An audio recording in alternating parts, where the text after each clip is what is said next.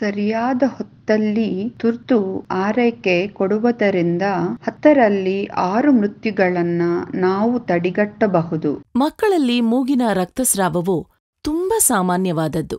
ಮೂಗಿನಲ್ಲಿ ರಕ್ತಸ್ರಾವವಾದಾಗ ತಕ್ಷಣವೇ ಮಗುವನ್ನು ಸ್ವಲ್ಪ ಮುಂದಕ್ಕೆ ಬಾಗಿಸಿ ಮತ್ತು ಮೂಗನ್ನು ಬಿಗಿಯಾಗಿ ಹಿಡಿಯಿರಿ ಮತ್ತು ಬಾಯಿಯಿಂದ ಉಸಿರಾಡಲು ಅನುವು ಮಾಡಿ ಕನಿಷ್ಠ ಹತ್ತು ನಿಮಿಷಗಳ ಕಾಲ ಒತ್ತಡವನ್ನು ಹಾಕಿರಿ.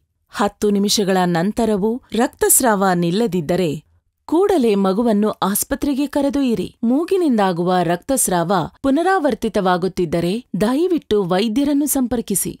ಮಗುವನ್ನು ಹಿಂದಕ್ಕೆ ವಾಲದಂತೆ ನೋಡಿಕೊಳ್ಳಿ ಮತ್ತು ರಕ್ತಸ್ರಾವವನ್ನು ನಿಲ್ಲಿಸಲು ಮಗುವಿನ ಮೂಗಿಗೆ ಬಟ್ಟೆಯನ್ನು ಹಾಕಲು ಪ್ರಯತ್ನಿಸಬೇಡಿ. ಮಗುವು ಅರೆನಿದ್ರಾವಸ್ಥೆಯಲ್ಲಿದ್ದರೆ ಅಥವಾ ವಾಂತಿ ಮಾಡುತ್ತಿದ್ದರೆ, ವಿಶೇಷವಾಗಿ ರಕ್ತವಾಂತಿ ಮಾಡುತ್ತಿದ್ದರೆ ಅಥವಾ ಹತ್ತು ನಿಮಿಷಗಳ ಒತ್ತಡದ ನಂತರವೂ ರಕ್ತಸ್ರಾವವು ನಿಲ್ಲದಿದ್ದರೆ ದಯವಿಟ್ಟು ಆಸ್ಪತ್ರೆಗೆ ಕೂಡಲೇ ಹೋಗಿ.